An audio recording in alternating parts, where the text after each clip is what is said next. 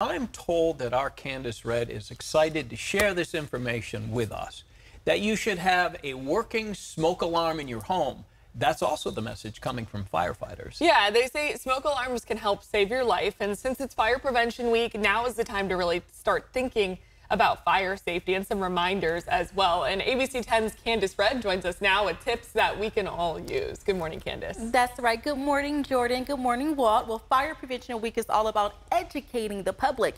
And the theme for the campaign this year is smoke alarms. Make them work for you. Well, firefighters want you to stay safe in case of a fire. They say one way you can do that is by simply installing working smoke alarms in your home.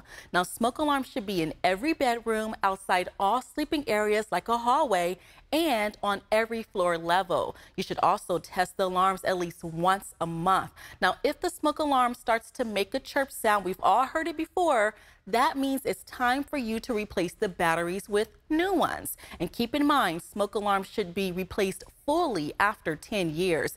Now, we're told Sacramento Metro Fire responded to about 650 building fires so far this year. Many of those homes did not have working smoke alarms. We had a fire this week uh, where people were sound asleep at the time.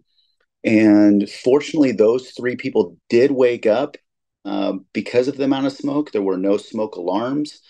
They got very lucky. And we've seen the opposite where people don't wake up. Uh, and it's a very unfortunate thing because it's so preventable. Statistics show working smoke, smoke alarms reduce the risk of dying in a home fire by 60%. Well, that's according to the National Fire Protection Association. The organization has been sponsoring National Fire Prevention Week since 1922. Now, in addition to smoke alarms, firefighters say you should also have an emergency escape plan. You want to be sure to practice it at least two times a year. That way, everyone knows what to do in case of a fire.